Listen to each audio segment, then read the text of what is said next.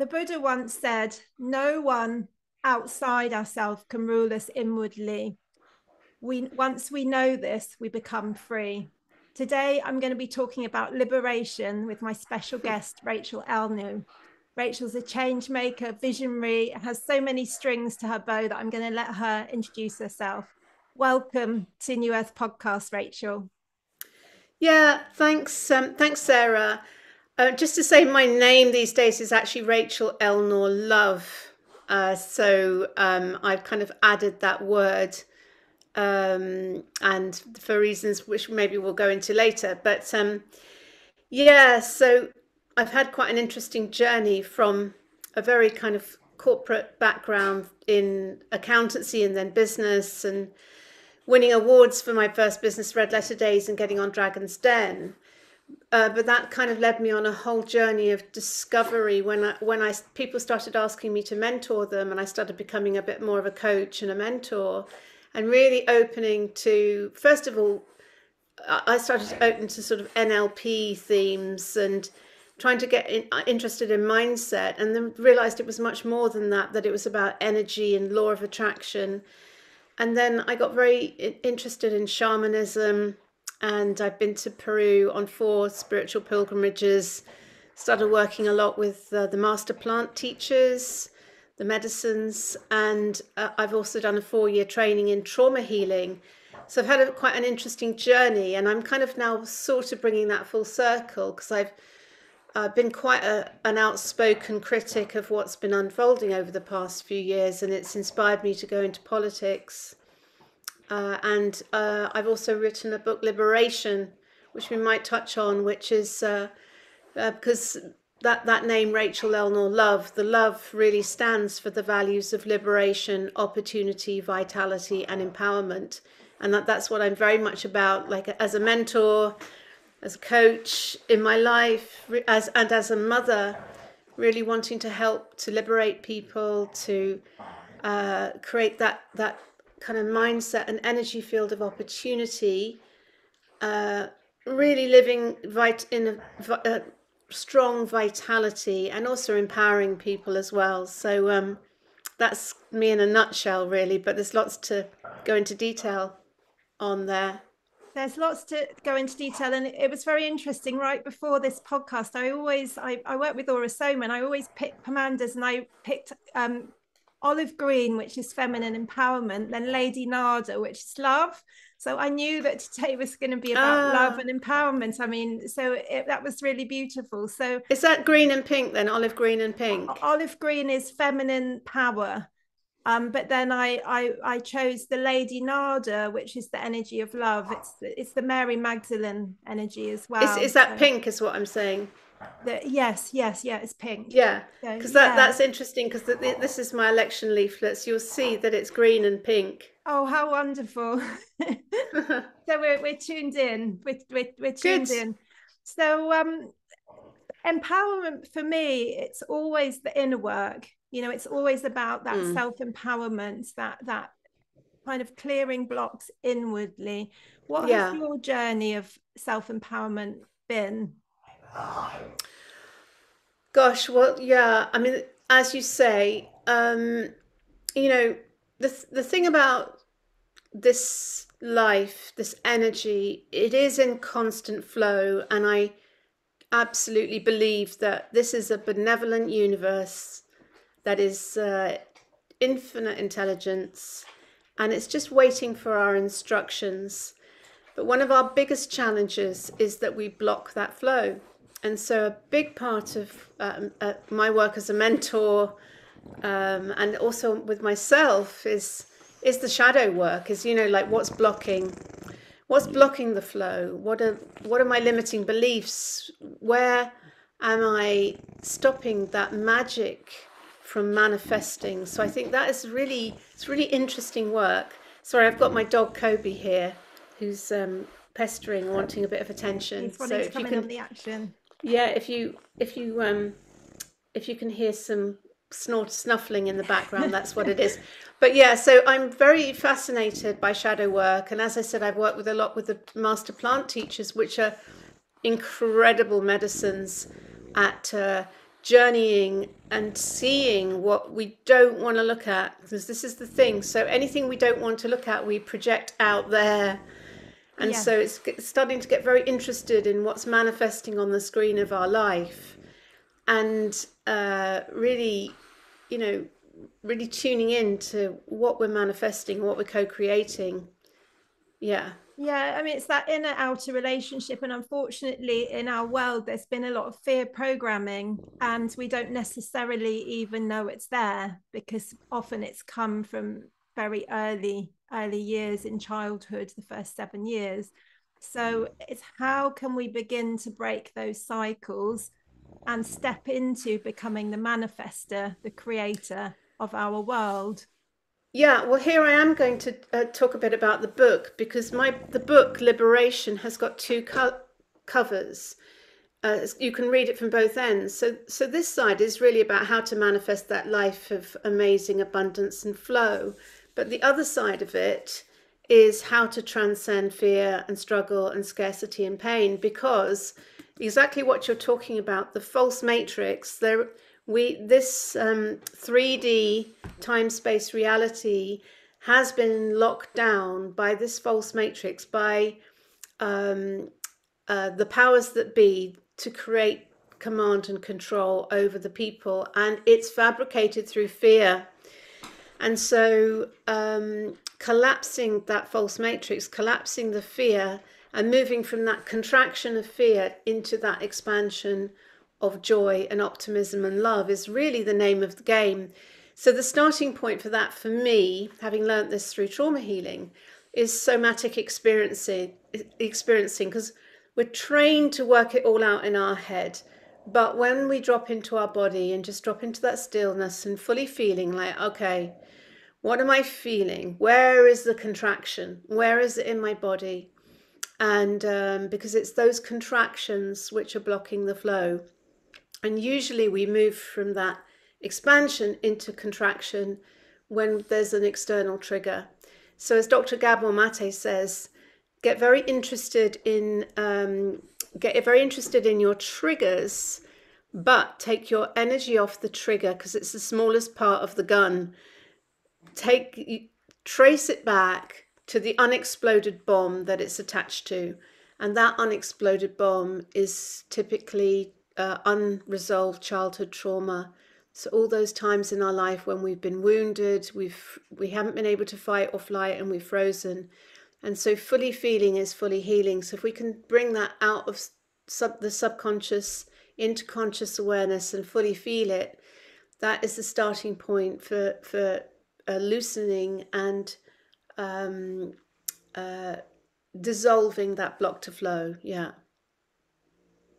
So, would you recommend for people, if, for example, they have a trigger that sets them into an emotion, either anger or fear, to really explore the feeling there? How how would you um, suggest people follow that back? Yeah. So so the thing about external triggers is uh, things that really we have a strong reaction to literally there's like milliseconds before you go into fight flight or freeze and so holding the space and uh, of that ability to just slow down and not react now sometimes it's impossible to do that and you just you know you might, might fall into a very strong reaction but then after that's blown through you can always then go back and sit with that. Okay, what came up for me? What was I feeling? What was the, and where have I, this is the key thing, where have I felt that before in my life? Where, because these things replicate and they repeat over yes. and over until we collapse them. And then once we've healed them, they don't need to keep showing up anymore. So that to me is the holy grail is to, it, and, and a lot of this is about slowing down, building lots of time in your day when you can just contemplate whether that's walking in nature or in meditation, just sitting quietly or just doing that process of just tuning in to your body. What's going on, on in my body, this somatic experiencing. Um, it's very powerful work, but it, it needs focus and time to be able to to really sit with things because the false matrix wants us to be busy, busy, busy, busy, doing, doing, doing, doing, output, output, output. And it's very important that we create that space, create a very spacious life. I live a very spacious life these days. And I deliberately, I don't overpack my diary. I only do one thing every day, like one assignment every day. I don't, I used to pack my diary with meeting after meeting after commitment meeting and these days, one I limit myself to one thing per day in terms of like a Zoom or a, a meeting or an interview like this, and try and leave a lot of space for um, to to process life, particularly uh, as I'm going back into the false matrix very strongly with with uh, going into politics. It's it's yes. um, a very strong journey. Um, dealing uh, with media and um, some of the attacks that are coming at me for standing in my truth, you know. You're doing incredible work. Uh, what an interesting journey to hold your ground, you know, as you're fully entering the 3D. Um, I had Steve, Steve Noble on a few weeks ago, and he had mm. a job for a while as a bus driver and he okay. was talking about how everyone was complaining because the buses were always late and how that was for him you know really entering the 3d and it, it kind of was quite activating so it's it's yeah. an incredible um, journey that you're on and um, i also feel during these times it's so important to look after our nervous system because mm. there's a huge mm. acceleration with the solar flares and the turbulent world that we're living in that this mm. grounding and recalibrating and giving ourselves time is absolutely yeah. key well again you see on that front i would say that very definitely this false matrix is constantly creating dissonance i mean just for example i don't often listen to the radio but i've been doing a lot of traveling in my car recently and I thought I'll just tune in like to Radio 4 or Radio 2 or Jeremy Vine lunchtime show just to see what they're broadcasting. And literally there's so much peril underlying all of these stories, whether it's interviews or an interview maybe with a woman who's sort of survived some terrorist or been in Palestine or or someone who's got some horrific thing has happened to them, or the sub postmasters and what happened to them, and this girl being put in Holloway. And I could literally feel that my nervous system, like, oh my God, I could feel the activation.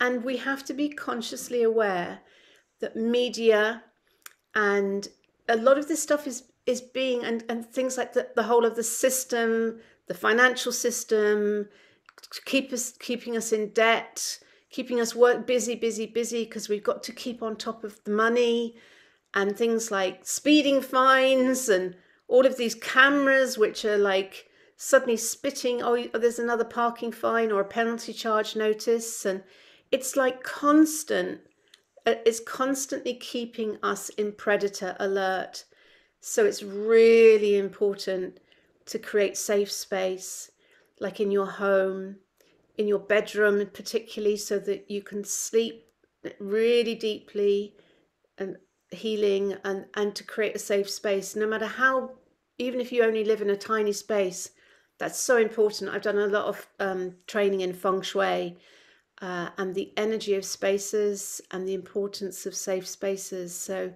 I do. Uh, there's a whole chapter in my book about creating safe space, um, and in relationships as well. You know and within ourselves you know by working with the inner child because mm. that's ultimately there's always going to be stresses on the outside in the world we're living in so it's how can we return to ourselves and recalibrate and stabilize ourselves do you have any any tips on that rachel if we do yeah. get good well this is the thing i quite often find myself having a little conversation with my higher self and my what i call my lower self. So my higher spiritual wise self that is you know my i guess my soul.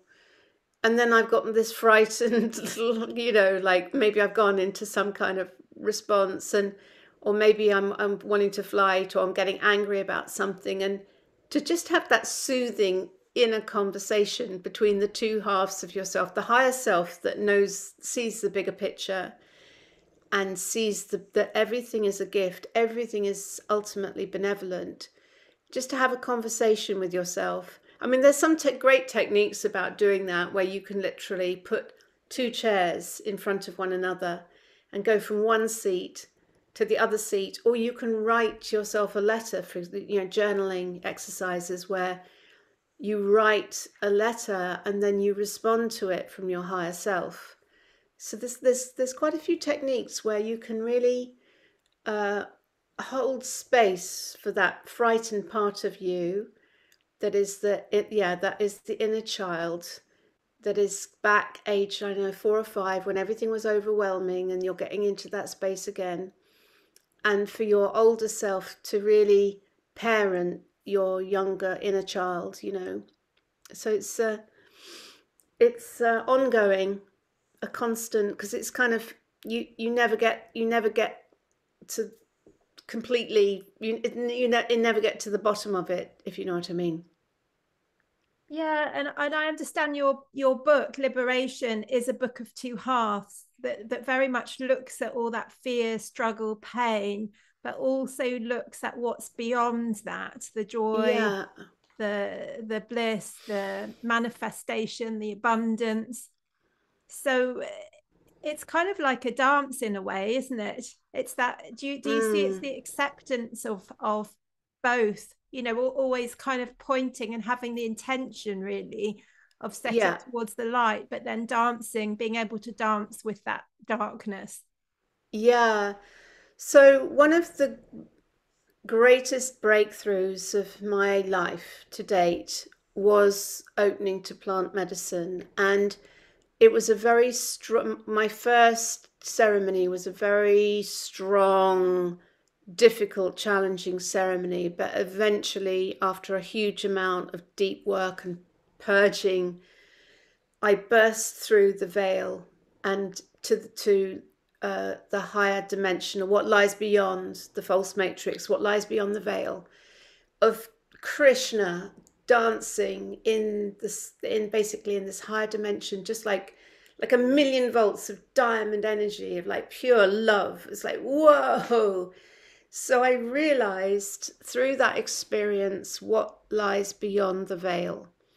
And i strongly believe that people like us um, the light workers the way showers we are um, it's our kind of mission to create that heaven on earth. And it's almost like we're thinning the veil and we're creating little torus fields which allow this energy to cascade through. So we're kind of creating points of light. So that this is the training, so that we can can be in the false matrix. We can go in deep into the labyrinths. Like I, last week, I went to the Houses of Parliament for a, and that is a that is a metaphysical machine. It's an energy machine to lock down power. Make no mistake.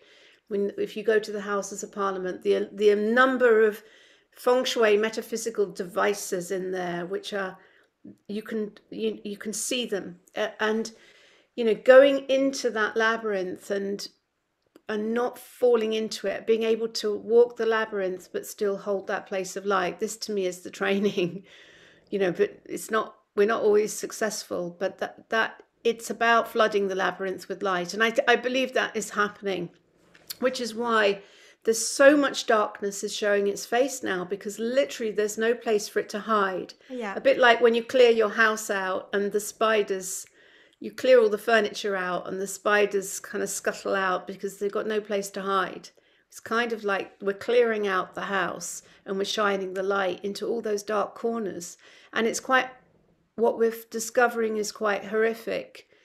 And um, so, but holding that space of healing, because once things come from the darkness into the light, they can be transmuted and healed. But when they're hiding there, they're kind of this wetiko, this lower dimensional energy, it can kind of hide in crevices and it, it can do its kind of work.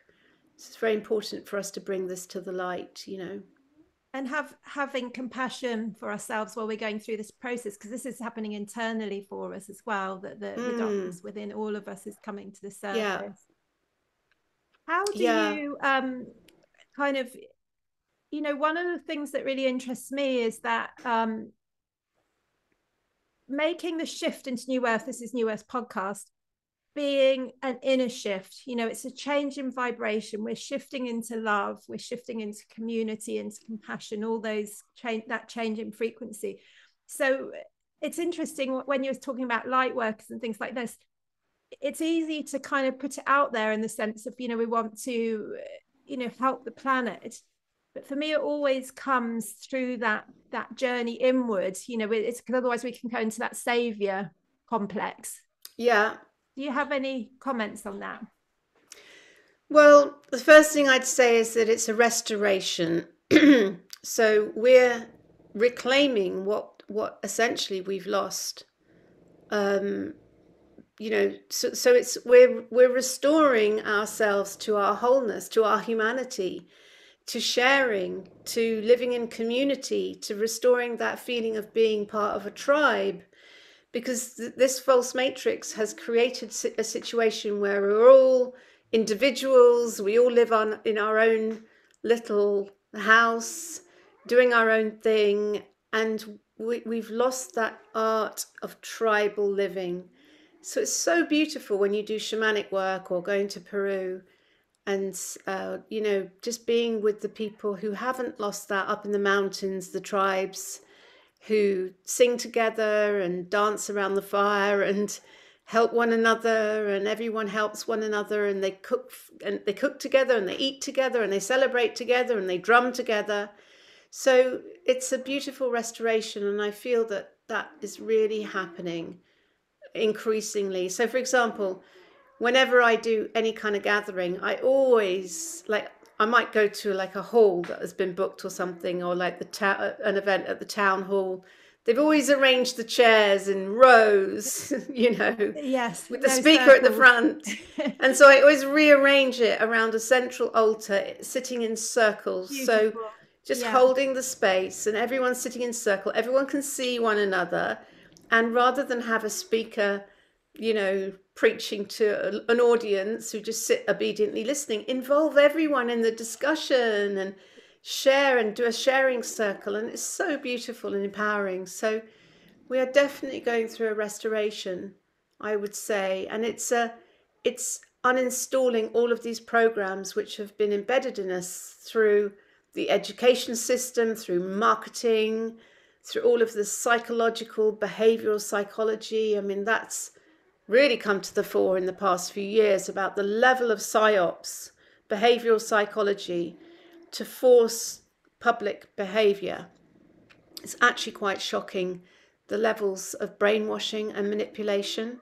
And I think it's um, really difficult for people to step out of that. Like I'm, I'm an international ambassador for the People's Health Alliance. And, okay, yeah, you know, great. Really encouraging people to find their voice and start speaking. Like I'm actually a really shy person, and it's just been doing inner work um, moving past these things that I'm actually doing this work. So, you know, we can all do this. We can all, mm. you know, mm. in our own way. It doesn't necessarily have to be a podcast. We can all find our voice in our own way. And in a way, that's yeah. what it's all about. It's when you said about the circle, it's like, how can we all contribute in our own way and our voice mm. to the collective? You know, it's it's it's very beautiful, actually. Yeah, that is one of the be- most beautiful things about the past few years is so many people have found their voice. And my as my voice just breaks there but my the first video that went viral for me when I was speaking out was called Rachel Speaks Out. And then I created a a fortnightly it was originally weekly uh, forum called the People Speak Out. We still do it every beautiful. fortnight. I don't host every week but um, it's just a forum where people can come on and share without judgment, whatever they want to share. They can speak out, they can express frustration, they can express gratitude, whatever. And it's so, yeah, this, the thing is, truth has a resonance. As you're saying, everything's vibration. And increasingly, you, we can uh, tune in to what, what is truth and what is dissonant, what is chaotic, which what is Yes. lies. And it's such an important thing, particularly with media. There's so much faked, faked, you know, um, stories, and and so that ability to tune in to integrity because truth has a resonance, and as I said, it is truth that will bring the walls of Jericho down. Yes. So I think this this ability to speak our truth doesn't have to be loud, just from the heart. Yes. Speaking our truth is so important to this process. It's very empowering and liberating because, of course, the, the throat chakra is the manifestation chakra because we're literally spelling our future into being through the the sounds and the resonance and the words that we use. So yeah, it's very powerful. And tuning ourselves as well, like we can become the instrument, you know. Yeah.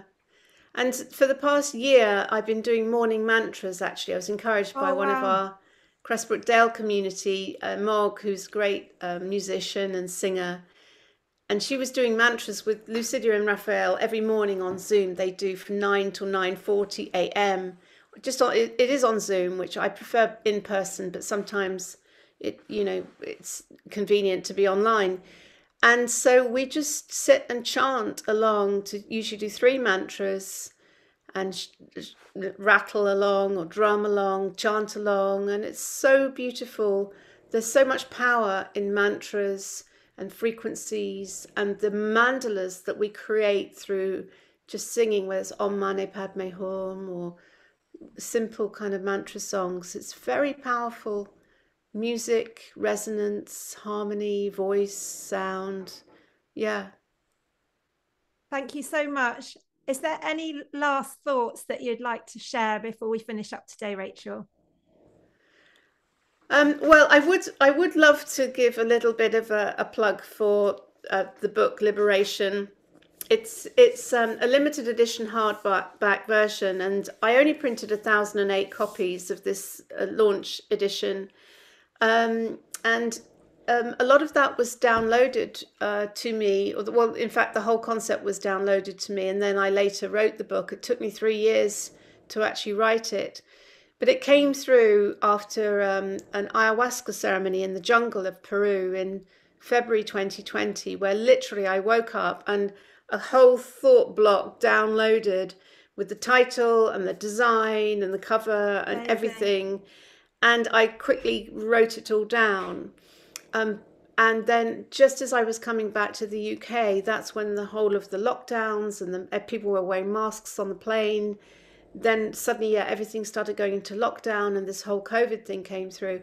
So I had to. I was actually forced by the universe to live a lot of the content of the book before I finally um, decided to uh, well, I finally thought I've, I had that conversation with my higher self and my just like you've got to write this. So I basically did uh, put the book on pre-sale, which is a very powerful little technique to do something like a crowdfunding or to actually launch something, even if it's not written yet, to get people to pre-order because then you've got a whole load of people expecting the finished product. And you better get on with it.